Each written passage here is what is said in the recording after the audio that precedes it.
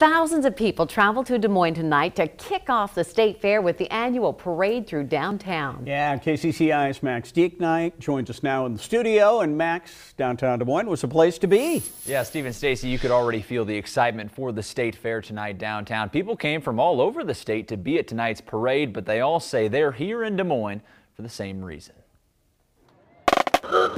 It's amazing. We love it. It's a tradition for us. So much rides and so much candy. It's a pretty big deal. A pretty big deal may be an understatement. Just look at this crowd. It wouldn't be the state fair without the state fair parade, and it wouldn't be a state fair parade without a bunch of excited kids.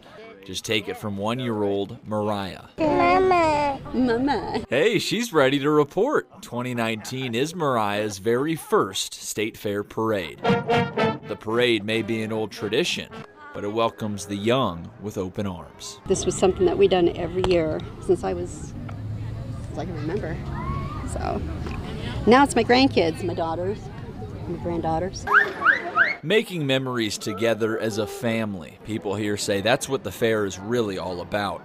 And if you ever wanted to catch a glimpse of age old traditions, meeting new ones, well, the fairgrounds await you. Me and my mom have this tradition where um just um we just go every year to the fair, just me and my mom. I think it, it's just your roots, and um, it takes you back to you know the agriculture and the farming and and everything that Iowa stands for, and it's such a positive uh, thing for families to do together.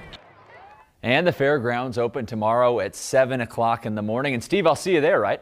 Yes, you will. We'll be there as always. KCCI's coverage of the Iowa State Fair runs deep, deep. We have been broadcasting live from the fair for decades now, even before we were KCCI, back in the days when the call letters were KRNT. We introduced television to fairgoers in 1946. Uh, the picture you saw earlier was taken from the fair's communications building in the 1950s. We then moved shows outside. There were some pictures there from the 1980s when we all had the Iowa spirit and we handed out those hats just to prove it. We have quite a state fair history here at KCCI and it will continue for years to come.